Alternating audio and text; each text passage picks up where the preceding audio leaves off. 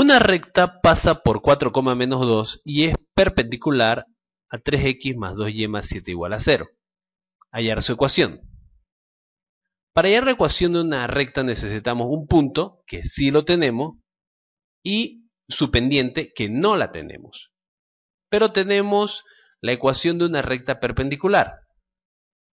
Puede hallarse la pendiente de esta recta utilizando la fórmula m igual a menos a sobre b, que sustituyendo quedaría menos 3 medios. Este signo menos se repite.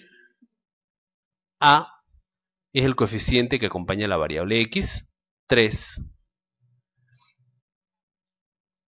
Y b es el coeficiente que acompaña la variable y, 2.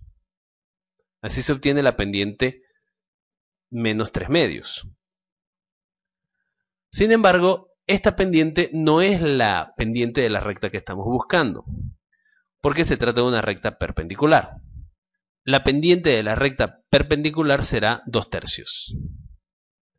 Observemos este detalle. Siempre que se trate de una recta perpendicular, se cambia de signo.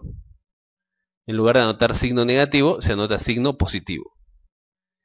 Y se invierte la fracción. En lugar de 3 entre 2, se anota 2 entre 3.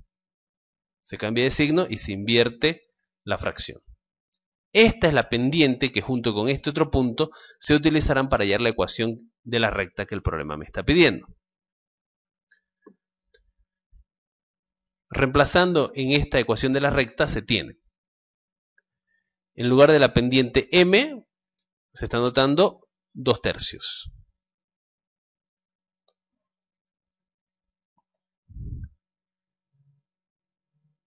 En lugar de la componente x sub 1 se anota 4. Y en lugar de la componente y sub 1 se anota menos 2.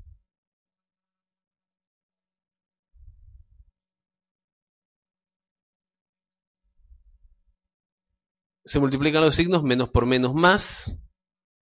Este 3 que está dividiendo pasa a multiplicar al primer miembro, 3 por y más 2 3 por y es 3y, 3 por 2 es 6, 2 por x es 2x, 2 por 4, 8.